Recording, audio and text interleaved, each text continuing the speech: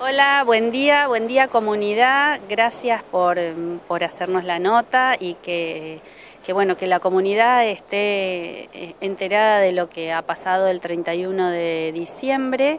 Eh, a nosotros, a la página, nos llegan varios videos de un evento que se realizó eh, acá en Salto, en la costanera, eh, tirando fuegos artificiales y que bueno, que hicieron mucho ruido y demás, y diciendo que muchos animales andaban perdidos y que no se tuvo en cuenta la ordenanza 118 del 2017. Eh, nosotros desde la, como voluntarias y desde la protectora, ¿qué podíamos hacer? Entonces, bueno, eh, si bien eh, nosotros como protectora podemos hacer denuncias, pero también le dijimos a la comunidad que ellos se tienen que acercar, no solamente nosotros porque somos una asociación, porque eh, a veces los vecinos tienen miedo de poner el nombre. Por ejemplo, en este caso, en representación de la, de la protectora, fui yo, pero podría haber ido Caro, podría haber ido Mili o podría haber ido Anaí, cualquiera de las de nosotras o otra chica del grupo. Entonces lo que nosotros hacemos hincapié en que si está la prohibición, eh, se está violando esa ley, o ese decreto, perdón. Entonces eh, fuimos, hicimos una exposición en el juzgado de faltas como corresponde, eh, nos lo tomaron, se pasaron todos los videos que llegaron a la página, se pasó el afiche porque se empezó esto con la campaña desde antes de Navidad, la municipalidad nos apoyó, nos hizo eh, los afiches, acá está mm, el logo de la municipalidad, entonces era como que la comunidad estábamos trabajando todos para esto.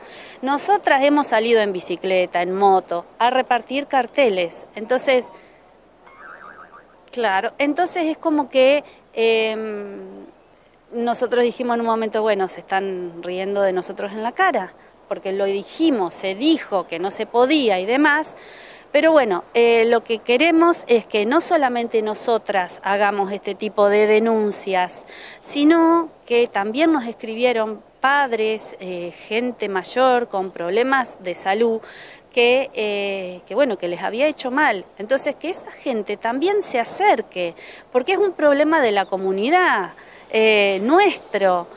Y bueno, y entre todos queremos resolverlo. Eh, no sé qué medidas tomará el juez de faltas o la municipalidad y demás, pero bueno, nosotros queremos que esto se solucione, que no se vuelva a repetir, porque acá sufren todos, todos sufrimos, desde la pérdida de un perrito, desde el nene que tiene autismo, desde un anciano, cualquier persona. Así que, bueno, no sé si las chicas tienen algo más para agregar. No, simplemente agregar lo que dijo Anabel, que mm, a todos nos gusta festejar, a todos nos gusta recibir el 2023, que sea buenísimo para todos, pero cuando hay otro que sufre no es fiesta. Y me parece que si hay una ordenanza está para cumplirla, dejemos de, ¿no? decir, bueno, no me importa, seamos empáticos y de una buena vez que se termine la pirotecnia porque no es fiesta. Hagamos otra cosa, no sé, pongamos música más alta, no sé, salgamos hasta un poco más tarde, no sé, pensemos entre todos qué podemos hacer para festejar, pero basta de la pirotecnia, basta la fabricación, la venta, que, pongan de una buena vez las multas que tienen que, que Claro. Un montón de negocios vendían, eh, por ejemplo, nos llegaron un montón de, que hicieron la denuncia, que llamaron a tránsito. Eh, esperemos que, bueno, que hayan tomado medidas también para esos negocios, porque estaba prohibida la venta ya de por sí. Eso. ¿Por qué, creen que la gente no se anima a, denunciar cuando en realidad, como bien dicen ustedes, es lo que nos afecta a todos y que además es una ordenanza, está para cumplirlo? No es algo que estaría mal decir, che, acá está pasando algo que no debería pasar. Pero por siempre igual. Bueno, con todas las cosas. Eh, un perro, un vecino tiene un perro atado, que no le da agua, que no le da comida, igual. Chicas, ustedes pueden hacer algo, vos lo tenés al lado, lo estás viendo todos los días y no querés tener problema con el vecino, no hay compromiso. Eso es lo que pasa. no entienden que no es que sale el nombre en la denuncia, como dice Ana, no sale la Sociedad Protectora de Animales, sale nuestro nombre personal en cada denuncia. Entonces la gente también tiene que tener empatía con nosotras también, porque después a veces terminamos siendo perjudicadas nosotras por el nombre que sale en todos lados, que ya nos ha pasado, que han ido eh, a prepotearnos y demás cosas. ¿Eso puede ser un motivo entonces porque la gente no se anime a dar su nombre? Sí, ese motivo. Sí, porque nos escriben, vayan ustedes, ustedes que son de la protectora. Nosotras somos voluntarias. Nosotros no cobramos, no, no, eh, lo hacemos porque queremos y somos gente de la comunidad como cualquiera de, de ellos. Entonces tendrían que acercarse ellos si es una denuncia por un perro atado o abandono o maltrato al juzgado de Y después esa, porque no es una denuncia, sino es una queja civil que nos toman. Y eso después nos mandan a nosotros a la página. Entonces desde ahí sí podemos actuar. Y, hablar con bromatología como se hizo en este momento. Este, todos saben la situación, así que bueno, eh, necesitamos el apoyo de todos. Bueno, en este caso, ¿quién protege, qué marco legal o quién protege también a la protectora? Digo, porque ustedes dicen, bueno, nosotros somos protectoras, necesitamos el apoyo de la comunidad. ¿Quién, ampara, quién las ampara a ustedes? Porque digo, también tienen ese riesgo, digo, de que vaya alguien enojado a prepotearlos o a quejarse por alguna acción que hayan tomado ustedes. No, en este momento eh, el juzgado de falta porque hay una denuncia. Nosotros no tenemos un apoyo eh, legal, no hay un abogado, pero estaría bueno que algún profesional, ¿no? Si está escuchando en algún momento, si analiza que hay una ordenanza, bienvenido sea. Y si no, seguiremos nosotras como seguimos adelante con todas las denuncias que hemos hecho.